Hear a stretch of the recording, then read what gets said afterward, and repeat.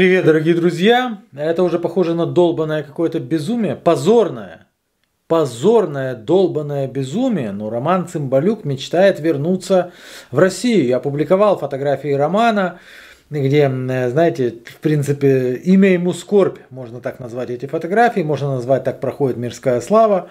Это на самом деле Киев, это засняли Роман, он ходит как в воду или в другую субстанцию опущенный, или просто как опущенный. И вот видно, что человек не в своей тарелке, потому что он в Киеву нахрен никому не нужен. Он не нужен никому в Украине со своей болтовней антироссийской. Он может сколько угодно оскорблять россиян, но фишка, изюминка его была в том, что он живет в России, в Москве, в сердце Мордора, оскорблял россиян последними словами. И как бы и вот это ему сходило с рук.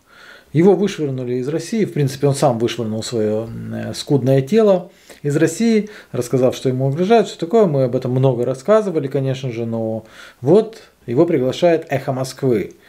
Эхо Москвы, они любят. Э, а, и, короче, э, очень интересно. То есть я, я там в частных клиниках интересовался, то есть можно было сделать. Но я что-то не успел, если честно. То есть угу я как это, не являюсь там противником спутника.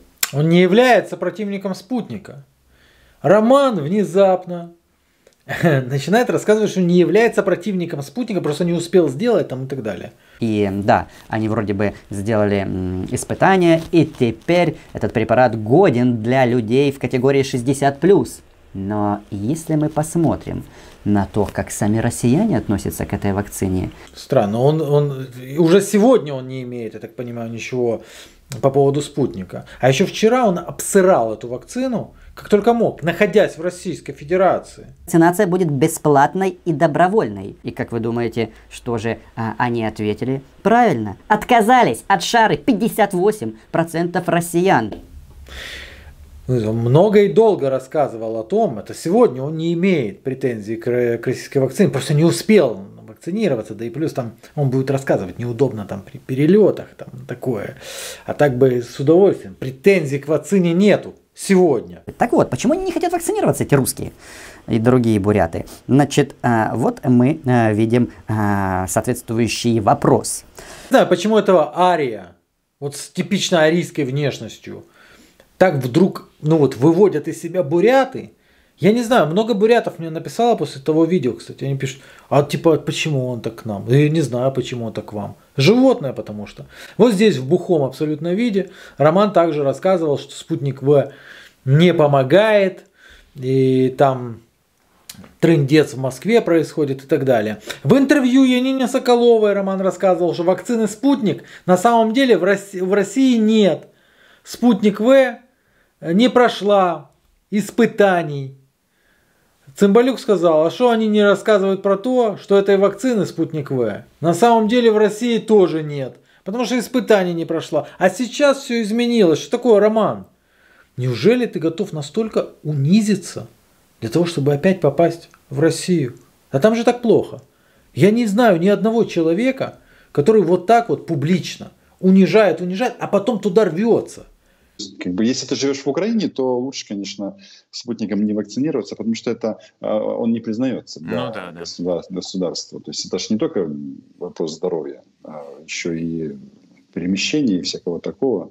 Ну да, вот, вот по, по, на самом деле какая причина была. Не потому, что это говно вакцина, не потому, что она там не прошла испытаний, как рассказывал Роман, а просто потому что ну, при путешествиях там удобнее и все такое. Тут задается главный вопрос, типа, Роман, а ты свалил из России. Ну, он говорит, что не только я свалил, но я только о нем слышал. Ну, видите, э, покинул, покинул Россию не только я. Тут э, по последним сообщениям в российской прессе это около полутора тысяч журналистов. Ну, я-то такое дело, я же иностранец у вас был. И тут он начинает, внезапно прижав уши голове рассказывать о том, что он вообще сирый иностранец. Это ваше дело, как вы ко мне относитесь и так далее. И заявление у него, следовательно, не имеет претензий к российскому государству. Что? И тут очень важно подчеркнуть, что у меня нет претензий к российскому государству. Почему?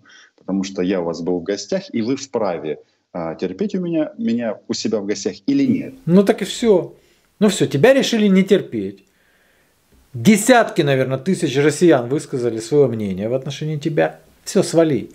Ну, а вот это вот это надо написать на скрижалях. Там роман, дело в том, что он сам оформил статью о себе в русской Википедии. С ярко выраженной проукраинской позиции задавал острые вопросы. Кто не верит, сходите посмотрите на статью о романе на русской Википедии. Просто он никому не нужен, поэтому ее никто не редактирует. Но вообще-то там трэш. Ну вот туда вот это надо вписать, вот эту фразу. И тут очень важно подчеркнуть, что у меня нет претензий к российскому государству. Очень важно подчеркнуть, у меня нет претензий к российскому государству. Это надо туда вписать, в эту, в эту статью про великого журналиста Романа, который не может себя найти в Украине. Вот я сейчас вернулся в Киев, и, конечно, а, если кто-то мне скажет, Рома, а, а не поехать, не уехать ли тебе отсюда куда-то, из России скажет, это Киев русский город, там еще что-то, то тут моя позиция, она будет совсем другой. О, ну хозяин города Киева вернулся, родившийся в Казахстане. Это он уже в Киеве, то он там, как он там скажет, царь и бог, если кто-то посмеет сказать, что Киев русский город. Ну. То есть тут уже, э, тут я царь, тут я хозяин, и таких, как я, миллионы людей. Вот это просто э, важно проговорить. Да, то есть если ты в Киеве начнешь заявлять что-то, что Роман заявляет в Москве, то Роман, наверное, напишет на тебя заявление в СБУ. Или придет с, топор, с топором мочить тебя, друзей подговорить, к примеру, там, может, э, каких-то там э, муждабаева, ну, тут спился, правда, ну, каких-нибудь националистов приведет, да, на тебя. А вот Роману можно говорить в Москве, оскорблять русских, на бурятов у него какой-то клин стоит на бурятах, что девушку его увел, увел бурят, я не знаю. Ну, слушайте, как раз сегодня мой адвокат Николай Полозов э, прислал запрос в прокуратуру, где а, мы пытаемся выяснить, есть ли дело какое-либо в отношении меня на территории России. Ты его в дверь, он в окно, в окно его, а он в дымоход лезет. И что выяснит Николай Полозов, есть ли на тебя дело или не дело? И что произойдет после этого? Если дела нет, ну тогда что? Чемодан, вокзал, Москва. Ну а что? Все-таки Россия сильно изменилась? Не понимаю. А вот то высказывание Романа, когда он говорил, что я думаю, пора собирать вещи. Так по-блатному так говорил, такой такой тяжелый был. Думаю, пора собирать вещи. Не хочу, чтобы моих детей в школе, он говорил, учили о том, что величие России, Путина. А сейчас уже хочешь. Роман, насколько ты готов унизиться? Роман, ты готов поцеловать ботинок пограничнику, к примеру, на границе с Российской Федерацией? Готов? Вижу, что готов. Это классно. Следить за вот этими вот четкой проукраинской позицией, которые вне Москвы себя не чувствуют вообще. Они не ощущают себя, у них жизни нет вне России. Да интересно. Правда?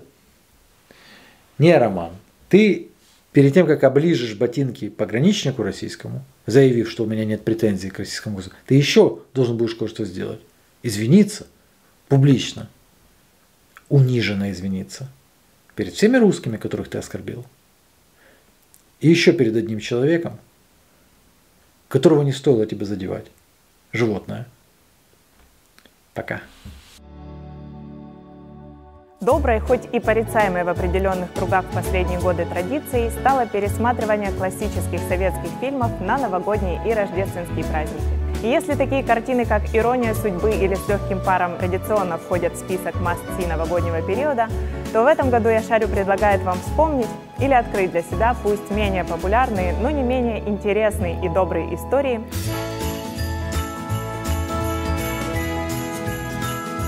Перед вами топ-12 советских фильмов, связанных с Новым годом.